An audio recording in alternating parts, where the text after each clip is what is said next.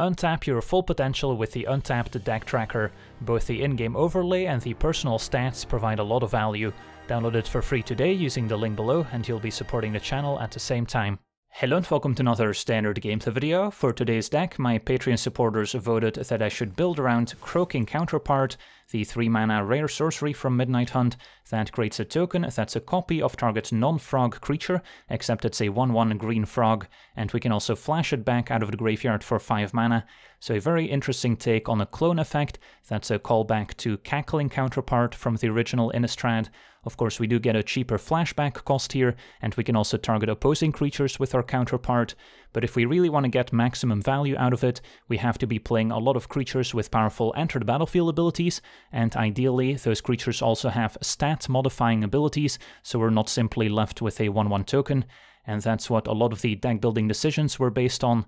At 3 mana, for instance, we've got a full playset of Briarbridge Tracker, a 2-3 human scout with Vigilance, that when it enters a battlefield lets us investigate, so we get a clue token we can sacrifice for 2 mana to draw card, and as long as we control a token, the tracker gets plus 2 plus 0, so it's essentially a 4-3 with Vigilance, and if we copy our tracker with Counterpart, we get a 3-1 tracker.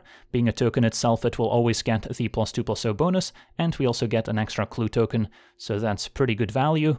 Then at 4 mana we've got two copies of Master of Winds, a 1-4 Sphinx Wizard with Flying, that when it enters a battlefield lets us draw 2 and then discard, and whenever we cast an instant, sorcery or wizard spell, we may have the Master of Winds base power and toughness become 4-1 or 1-4 until end of turn. So if we copy it with counterpart, we get to draw to and discard, so that's already a bit of card advantage, and then we get a 1-1 token that can still turn into a 4-1 whenever we cast an instant, sorcery, or wizard spell, and of course flashing back the counterpart is an easy way to enable that ability and still hit for 4, so we don't really notice that we got a 1-1 frog instead of a true Master of Winds. Then we also have the full playset of Spirit of the Elder Guard, an 0-4 snow creature bear spirit that when it enters a battlefield lets us search our library for a snow land card, reveal it and put it into our hand, so it can even search up our two copies of Faceless Haven if we want an extra creature land threat. And then the Spirit of the Elder Guard gets plus 1 plus 0 for each other snow permanent we control. So even if we copy it with our croaking counterpart, it's not going to have 4 toughness, but it will still have power equal to the number of other snow permanents we control, so it will be very threatening, as well as providing a nice enter battlefield ability. Then we also have two copies of Quandrix Cultivator, a 3-4 that when it enters battlefield lets us search our library for a basic forest or island card and then put it on the battlefield untapped. So not the best in terms of stats with Counterpart, but getting an extra land on the battlefield is still great value, and that also makes it easier to then flash back the Counterpart as we'll have more mana available. And then topping off our curve, we've got the full playset of Mind Flayer. This is probably the most exciting creature to copy with Counterpart if we're facing a creature matchup, as a 3-3 creature that when it enters battlefield gains control of target creature for as long as we control Mind Flayer. So a great creature to copy and steal all the opponent's creatures with, and then it doesn't really matter that it's a 1-1 instead of a 3-3. Then at 4 mana we also have two copies of Esika's Chariot, the powerful 4-4 legendary artifact vehicle with a crew cost of 4 that when it enters a battlefield is joined by a pair of 2-2 green cat creature tokens, and whenever the chariot attacks we create a token that's a copy of target token we control, so besides copying the cat tokens or maybe clue tokens from tracker, we can even copy tokens we get from croaking counterpart, which can be especially effective if we copied something like Mind Flayer and can now start stealing all of the opponent's creatures. And then looking at the rest of our deck, we do need some early acceleration to hopefully get to 4 mana on turn 3, which is where Lotus Cobra comes in handy, a 2-1 creature with a landfall, saying whenever land enters battlefield under our control, we add 1 mana of any color to our mana pool, so very synergistic with Evolving Wilds, which is why we're playing it over the blue-green tapped Snowland, as well as playing well with the Quandrix Cultivator, since the land comes into play untapped, and we potentially get more landfall triggers, we can often still play something afterwards.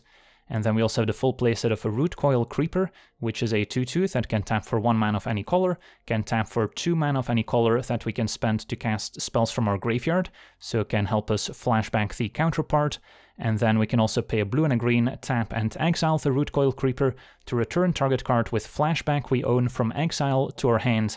So we can get back a Croaking counterpart that we've already flashed back, so that's a ton of extra utility thanks to the Creeper.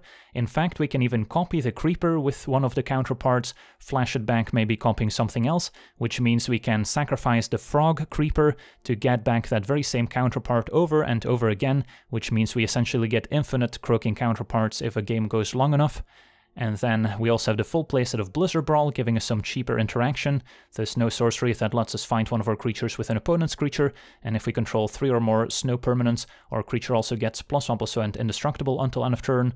Also a nice combo with the Cultivator, since we can get an untapped forest and still cast a Blizzard Brawl afterwards. And then finally, two copies of Augur of Autumn, another new addition from Midnight Hunt 2-3 that lets us take a look at the top card of our library at any time, and we can play lands from the top of our library, so also has a bit of synergy with Evolving Wilds, shuffling the top of our deck, and then as long as we control three or more creatures with different powers, we may cast creature spells from the top of our library as well, so that's more card advantage, and also plays well with the shuffle effects from Evolving Wilds, Spirit, as well as the draw discard from Master of Winds, so there's a ton of synergy there as well. And then the mana base, as we discussed, includes two copies of Faceless Haven as an extra threat that we can also search up with Spirit of the Elder Guard, and then our Evolving Wilds to go with Lotus Cobra, 10 snow-covered forests, and 8 snow-covered islands. So that's our deck. Now let's jump in some games and see how the deck does. Alright, we're on the draw. Our hand's a little bit slow to get going, but looks keepable enough. And then I probably have to fetch up a forest Cobra definitely helps. Still gonna go ahead and fetch a forest here. Does mean I might miss out on the double blue for Master, especially if Cobra dies. But Augur is also likely to find me more lands. Opponent on a mono black zombie deck here with Champion of the Perished.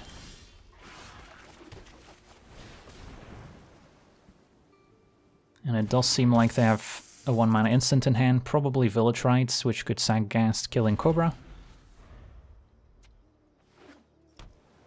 Blue-black zombies it is. So, expecting the Cobra to die here. But then we can still play our Augur, hoping to hit some lands for next turn.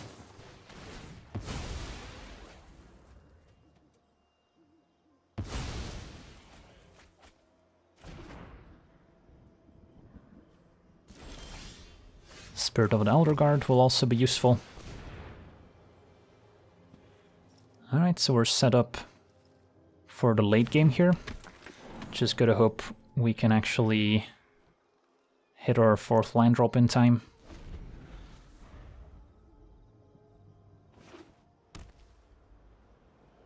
Nothing from our opponents.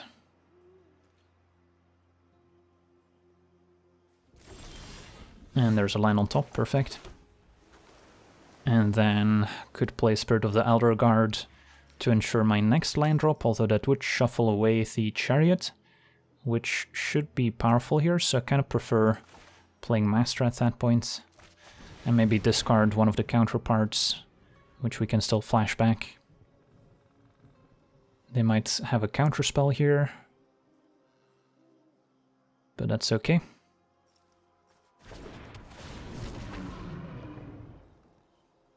So we'll draw two. And then there's a land on top. Do I get greedy and discard land? Yeah, sure. With spirits, we'll find more lands if needed. And we know there's one coming up. Don't want to attack into Faceless Haven. But a Soul Shatter will kill our master, that's fine. Still got an extra card out of the deal. Right, Haven's going to start attacking. It's our opponent with a pretty passive start. Play line of the top. Creeper. So... Don't have a super mana efficient turn ahead of me. Playing Chariot is always good insurance. What I want to set up is a turn where I can copy one of my creatures with counterpart and then use a chariot to copy that token right away. which may not happen immediately here, but I think going for Chariot is still fine. Also gives us a bit of insurance in case of a blood on the snow.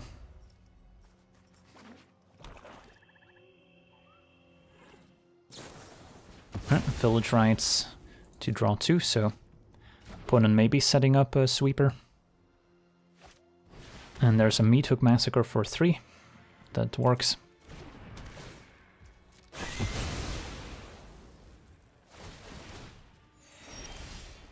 Alrighty, so what's next? Could play Spirit of the Elderguard plus Rootcoil Creeper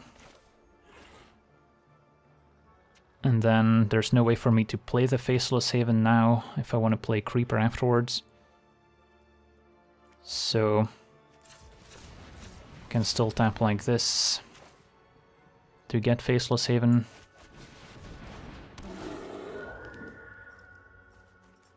And then play the islands. And then I can sneak in an attack with chariots. I think I'm still the beatdown in this matchup, so I'm not too afraid of taking a bit of damage from Faceless Haven. And now with the Creeper in play, we've got a lot more mana to work with, so it's going to be easier to set up those Croaking Counterpart turns.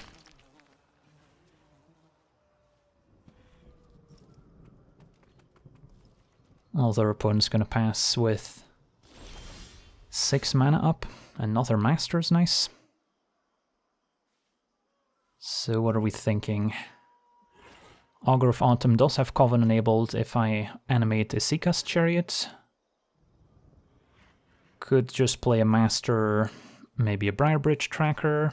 Could play Master, start copying it with Counterpart, hope they don't have spot removal. So a lot of options. Having the Master in place seems nice because that just sets up Counterpart, giving the Master 4 power. So let's start there.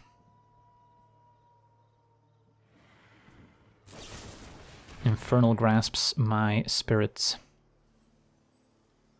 Think I crewed a chariot then. With the hope of copying my Master of Winds token.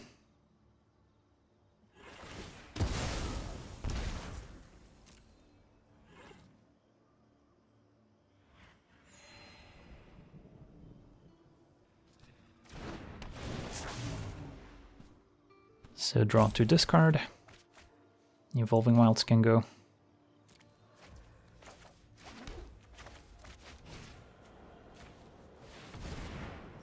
And we'll see if this works.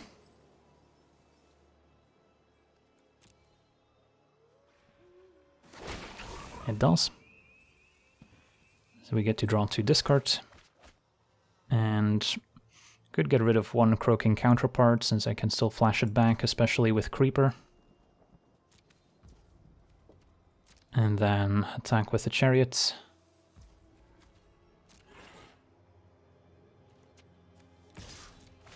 And copy the token.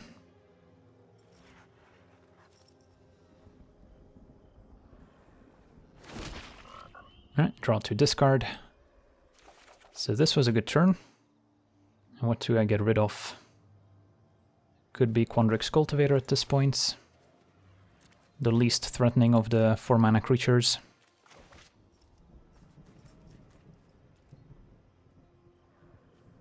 Opponent can trade Haven for Chariots, which is fine. They're just gonna chump and maybe take out a Master.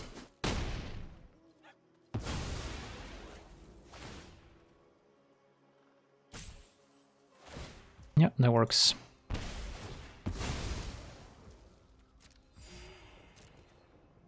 So we're still in a very good position. Even if they wipe the board, we can easily re-establish a presence with double counterpart in the graveyard, plus a chariot that can copy our tokens. So our opponent's gonna need something special. Another massacre, that works.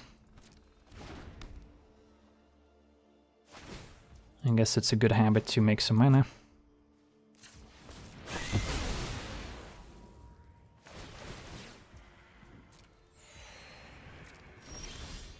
Alrighty, so what's my plan? If I play tracker, I can copy the tracker and then copy the token.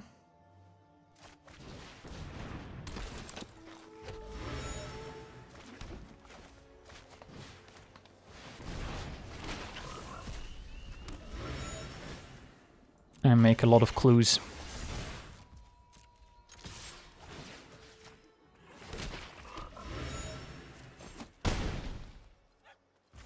So I only had to use one card for my hands, and we got three creatures and three clues. That's the power of Croaking Counterpart. Another Shambling Ghasts is okay. Blizzard Brawl's not bad.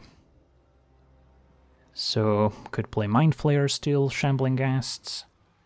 Could play another Spirit of the Elder Guard to get extra Faceless Haven. Just a wealth of options here. I'm okay trading a couple trackers for Shambling Ghasts. That doesn't bother me. So how about I play Spirits?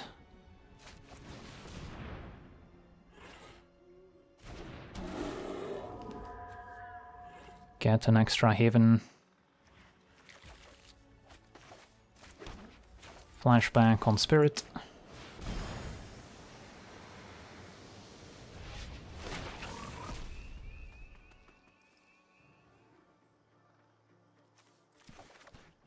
And then we can crew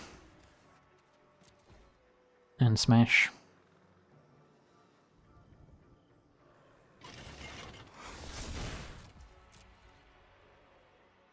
One mana short of doing this with Mind Flayer, but think we'll be just fine. Let's copy another spirit here.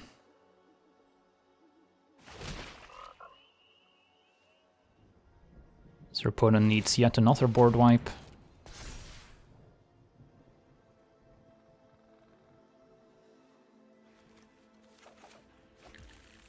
Our hand is still full. And we still have double Haven to pressure them. Not to mention our clue tokens.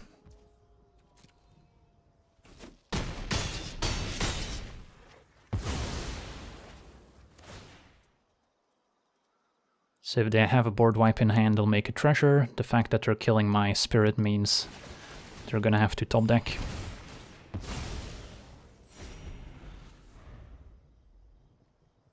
You can barely notice that this is a frog in disguise. Alright, GG's. On to the next one.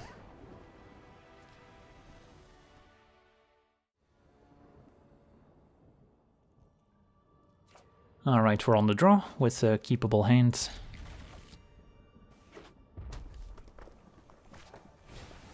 Up against an aggressive Goblins deck. think I still fetch with Evolving Wilds now. Playing an untapped land is still kind of the same as playing and fetching with Evolving Wilds with Cobra in play. It only becomes an advantage if we have multiple Cobras. And having more untapped lands is going to be important against an aggressive deck where we can't afford to stumble. Opponent does have a shock to deal with Cobra, which was to be expected as I didn't have a turn 2 play. But luckily we have a Briarbridge Tracker on 3, and then Chariot's a nice way to stabilize.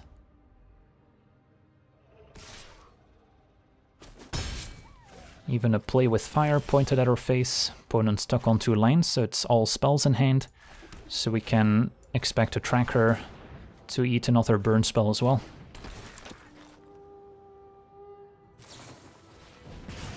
But we still got a clue out of the deal, so still up on that exchange. And then Chariot's gonna be pretty tough for them to fight through one by one. We are running a little bit low on spells in hand. So hopefully we find a nice creature to copy with Counterpart. If not, I can always try to make more cat tokens by copying the Chariot and keeping the original. Relic Robber does not have a profitable attack. and another counterpart. So probably fine to start cracking clues.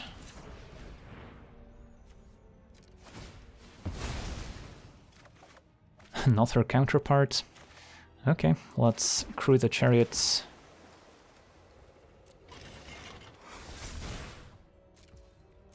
Attack.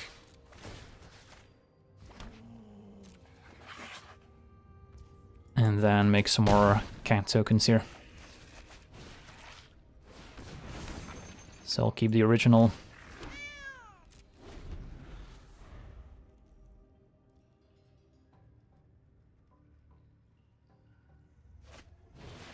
Bandit Lord to pump the team. That's fine.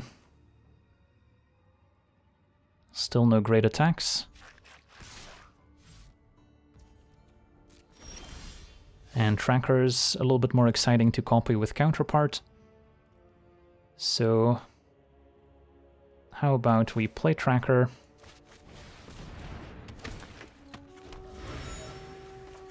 copy it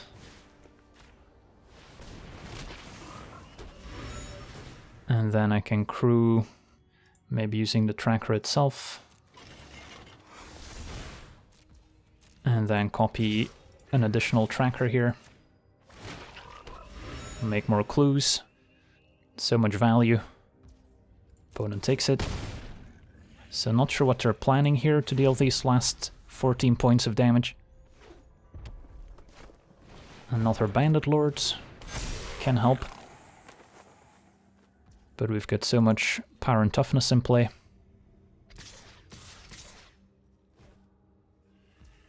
So, assuming they have another burn spell, put three cats in front of Bandit Lord so it still dies, at which point I can trade a cat for a Javelineer and a tracker for a robber. Seems relatively safe.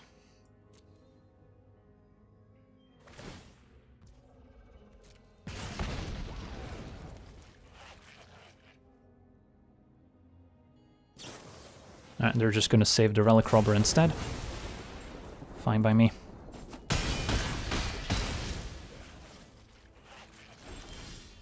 And do we have lethal here? If I send Faceless Haven, yeah, our opponent's probably chumping, if not just dead on board. On to the next one. Alright, we're on the draw. Hand seems keepable. Cobra into Spirit, ideally. Opponent with a turn 1 Cleric class off a snow-covered plains, so they might be playing the Faceless Haven combo. For now, turn 2 Aspirant, still quite strong. And uh, sure, I'll go with Cobra. And then Evolving Wilds could actually generate extra mana with double Cobra in play.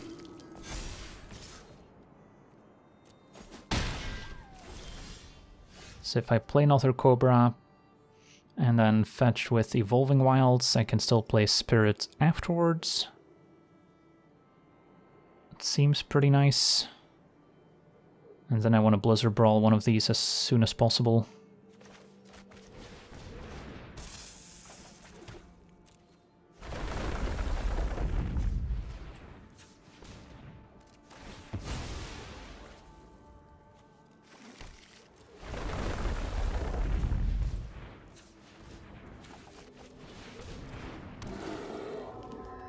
Probably get an extra island over an extra haven. And I'll hit for two, fine to trade.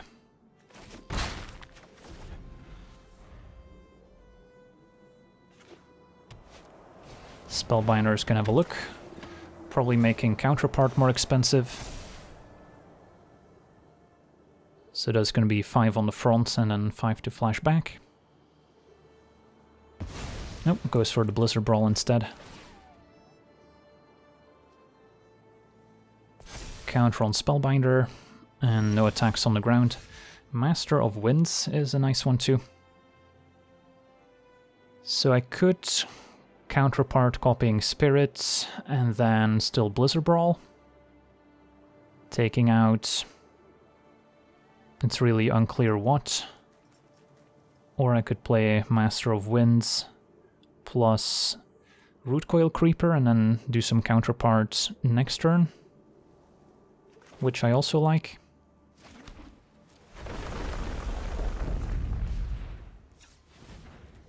So we'll play Master, see what we pick up. Double Tracker. One of those can probably go.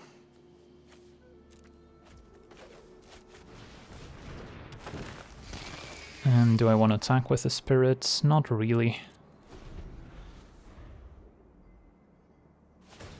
And the creeper will also help with flashing back counterparts. Take five. Another Blizzard Brawl. So opponent could be holding up a removal spell, which could punish me for copying something with counterpart or fighting with Blizzard Brawl. So that makes it a little tricky. Let's say I Blizzard Brawl with a Lotus Cobra, which I don't mind if it dies. I can still take out Spellbinder. So let's start there.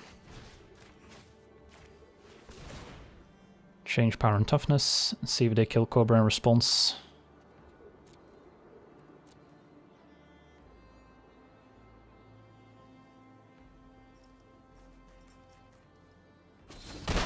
They don't. In that case, I think I still wait on the counterpart and then could go Tracker plus another Blizzard Brawl. Maybe this time fighting with Spirit of the Elder Guard. Or another Cobra. So the entire team can attack. Take out Aspirants.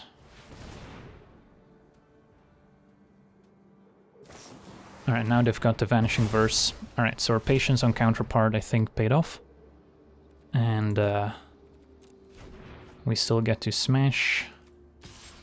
I'll keep Spirit back.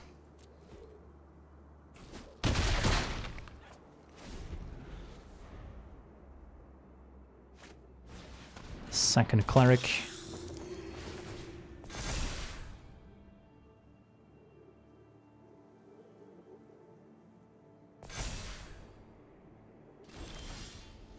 Alright, time for counterpart shenanigans. Copy master.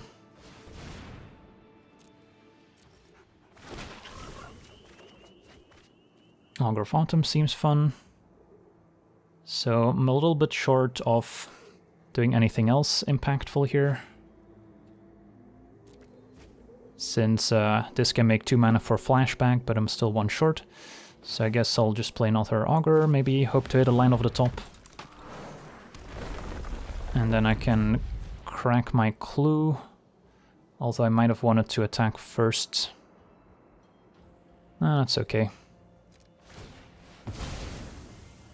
Draw the counterpart and hit for 4. And then Tracker could still attack since we still control the token. Sure.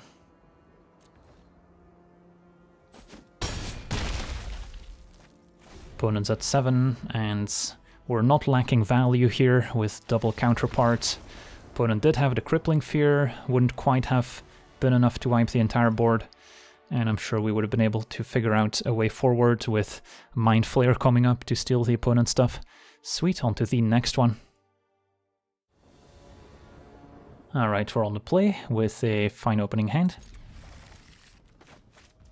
And then I think I'll still fetch here get my islands. Unlikely to be very beneficial with Lotus Cobra unless we draw second copy. Hopefully it survives so we can play a 4-drop next turn. Jadar, so blue-black zombie deck perhaps. And there's Haven. So I can play either Master or Cultivator. Let's go with Cultivator. And get an extra island.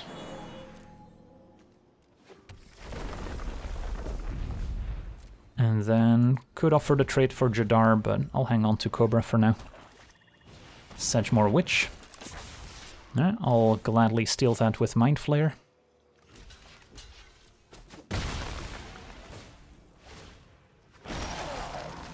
And we've got a backup.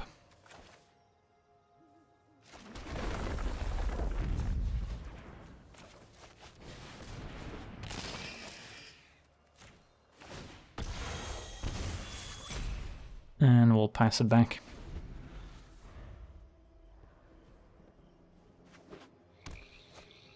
Another Witch. Opponent passes and a Blizzard Brawl to draw. Well, we've got options, and they're all pretty great. I kind of want to play the Master in the hopes of drawing a land so I can also play Counterpart afterwards.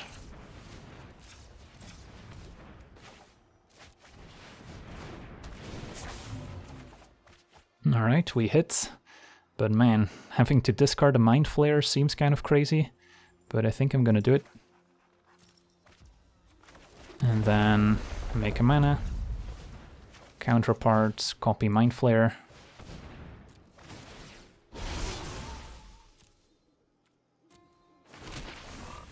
Steal the Witch.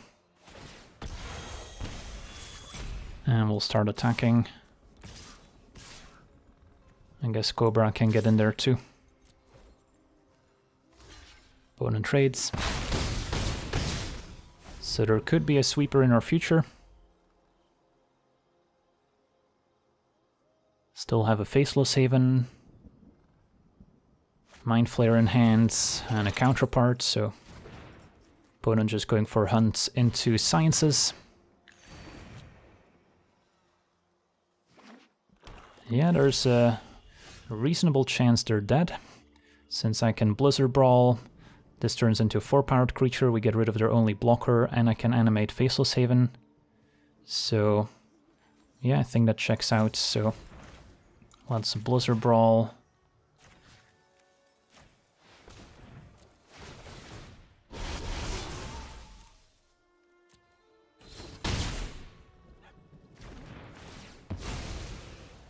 And animates.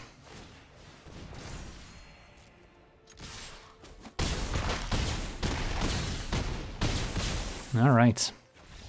Quite a bit of damage to spare, so good to see the power of Mind Flayer plus Counterpart. On to the next one. Alright, we're on the play with a reasonable hand, assuming we can hit land number 3. And fetch up a forest for Cobra.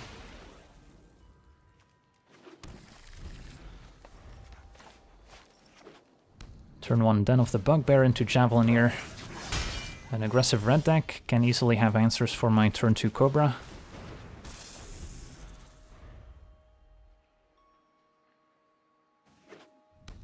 Double Den into Fireblade Charger times 2. Come on, lands. There we go. Play Spirits. And then could be okay to get Faceless Haven. I think I'm gonna play it safe and just get a Forest here. That way I can maybe double Blizzard Brawl or counterpart into Blizzard Brawl next turn.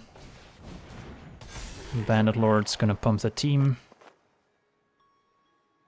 Could also try and steal the Bandit Lord next turn with Mind Flayer, if it survives. Spirits can block Javelineer. If Charger attacks, I don't really want to block with Spirit, because then we would just trade.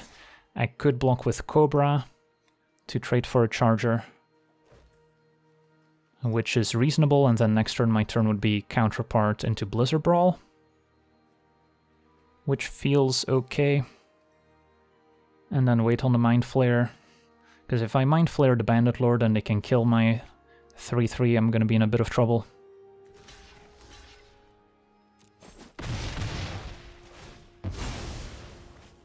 Then I'll take two to the face. Another Cobra I don't think changes anything. And then now I can afford to get Haven, perhaps. And then I'll Brawl Spirits with Bandit Lord. And probably still better off to hang back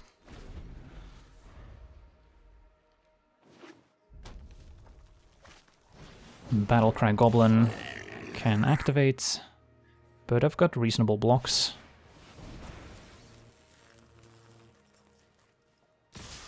Opponent's just sending it. So this definitely blocks Battlecry Goblin. And then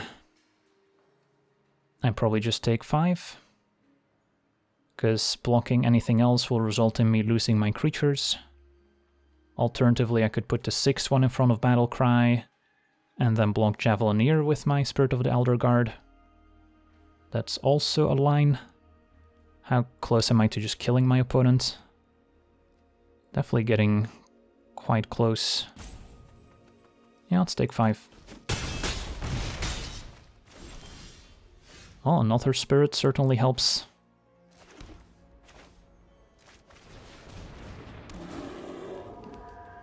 Get another Haven just in case.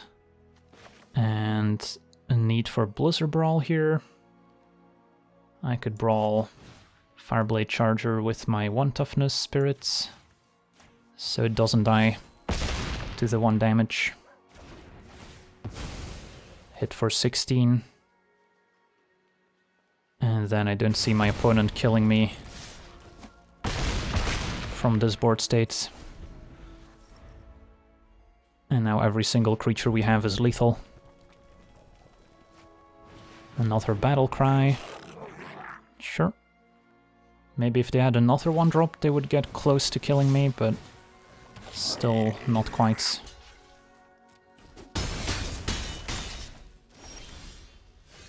Alright, and then just gotta turn my creature sideways and that'll do it. On to the next one. Alright, we're on the play with a fine hand. I'll need an extra land along the way. But Augur can help me hit more land drops, and so can Spirit and Master.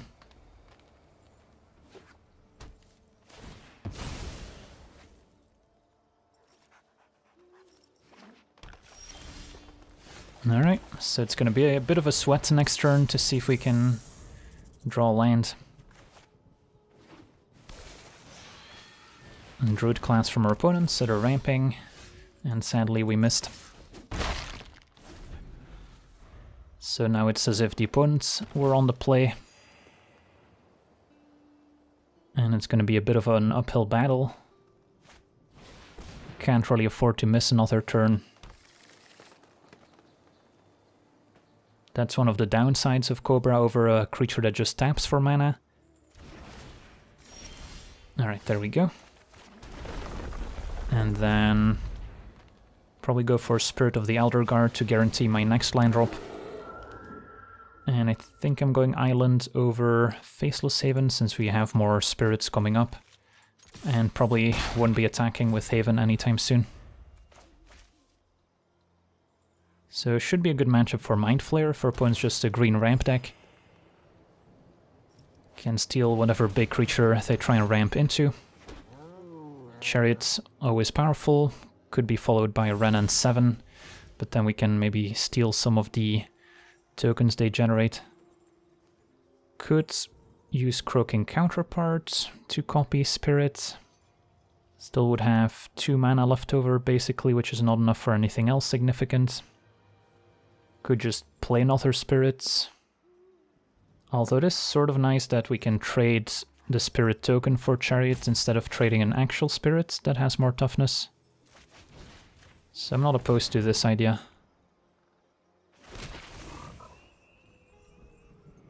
And then now I should probably get Haven and play it. And I'll just pass it back.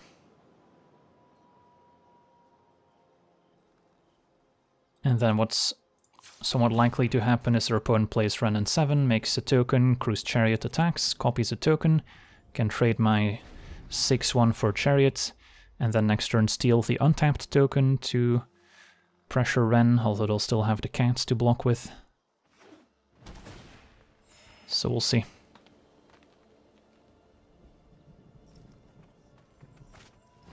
it's going to be an old growth troll instead. Times two. That's acceptable.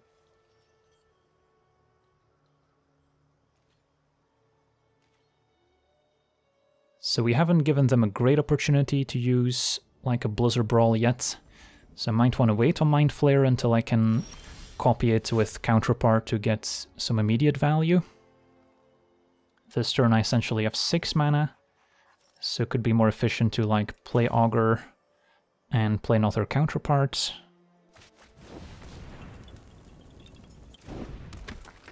There's another one on top, so now I don't feel too bad about playing another Counterpart for my hands. Although I suppose I would want to copy Spirit, which will then shuffle, so I lose the other counterpart, making it more difficult to play Mind Flayer and copy in the same turn. I guess that's just par for the course here. We'll make another Spirit token and fetch up forests, or maybe islands, since we have a bunch of double blue in hand. Blizzard Brawl, not a bad one on top of the deck. And we'll pass. So just want to keep hitting my land drops. I'm happy if we can keep the board the way it is. And eventually we can start playing Mind Flayer and copy it, which will make it very difficult for the mono green deck.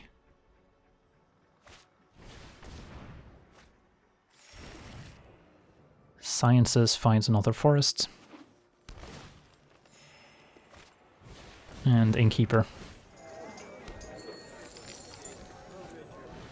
And a field trip, probably getting Mascot Exhibition. Goes for Pest Summoning instead, okay.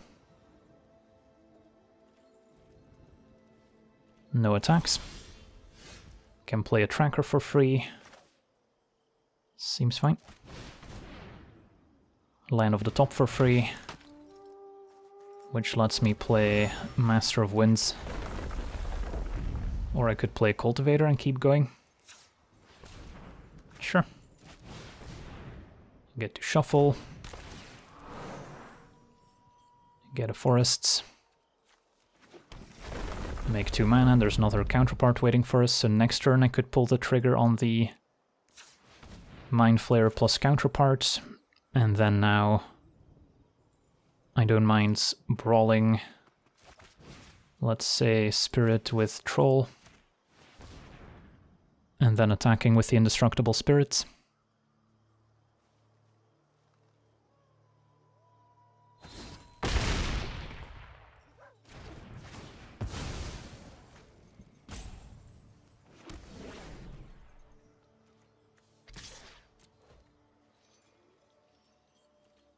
Our opponent will be able to maybe copy the troll token with chariots, but that's fine.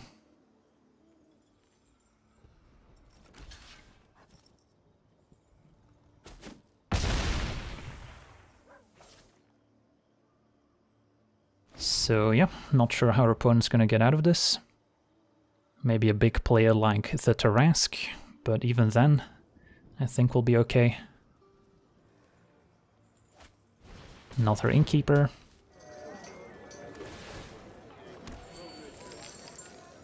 So they can gain some life. Alright, there's Wrenn and 7 at long last. So they can maybe copy the Tree Folk token. But they're not gonna like my Mind Flayer. We know they don't have removal in hand, so the coast is clear. Master of Winds will then also be a way to pressure their Planeswalker, So does our opponent copy the tree folk here? Looks like they're going for it.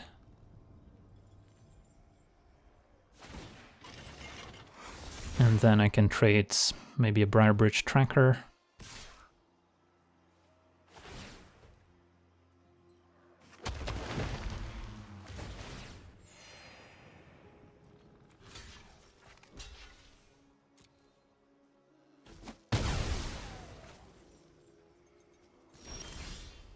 And get my free land.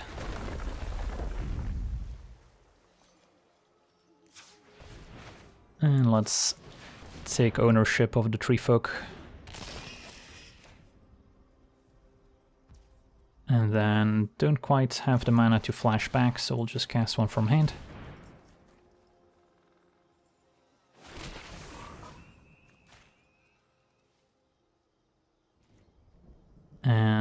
Do we have enough to pressure Wrenn here? Probably don't want to send the low toughness spirits. Yeah, I think I'll just chill and then uh, set up an attack next turn. Don't want to lose all my creatures. They still have the Lair of the Hydra, which could apply a bit of pressure. Backup Chariot's not bad. So I'm gonna want to get my Master of Winds online as soon as possible, but with triple counterpart in the graveyard. Our opponent needs to kill my Mind Flayer before they can make any forward progress.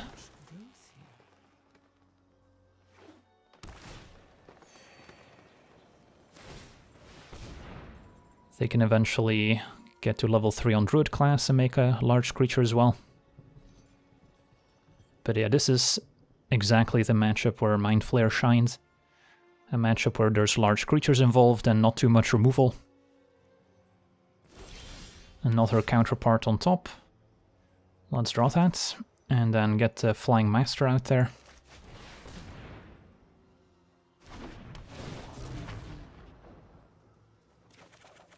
Blizzard Brawl I don't mind drawing either. Discards Island. And yeah, embarrassment of riches here. Let's say I flash back a counterpart.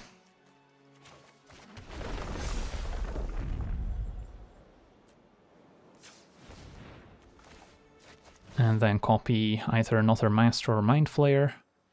I guess Mind Flayer stealing the Troll. Looks good here.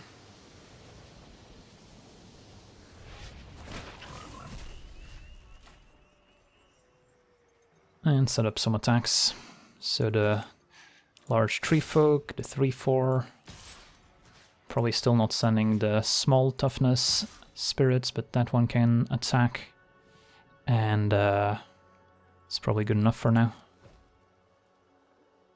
They can let their planeswalker go but then they miss out on the opportunity of making another tree folk and copying it, or they can lose some tokens.